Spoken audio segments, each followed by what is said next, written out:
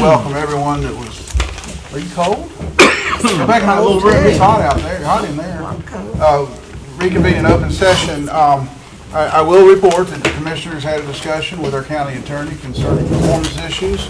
Um, And uh, just the sequence to, to kind of pull a close to everything is we've invited our county attorney, our county manager, and also our county tax administrator to give us um, input or reaction to any discussions we've had. And at the March morning meeting, Tori, right?